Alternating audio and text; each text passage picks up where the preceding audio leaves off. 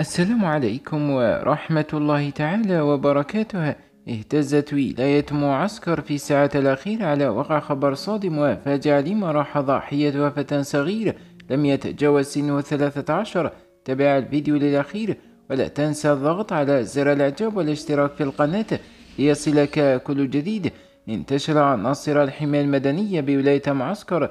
جثة فتى صغير يبلغ من العمر الثلاثة عشر سنة من داخل سهر إجمالي السقي الفلاحي بدوار الدراويش والمعروف بزاوية سيدي البشير وتابع إقليميا لبلدية غنيف أين تم تحويل الضحية إلى مصلحة حفظ الجثث بمستشفى غنيف؟ بينما فتحت مصالح الأمن تحقيقا لمعرفة أسباب الوفاة فيرجى أخذ الحيطة والحذر وتكثيف الرقابة على الأطفال الصغار.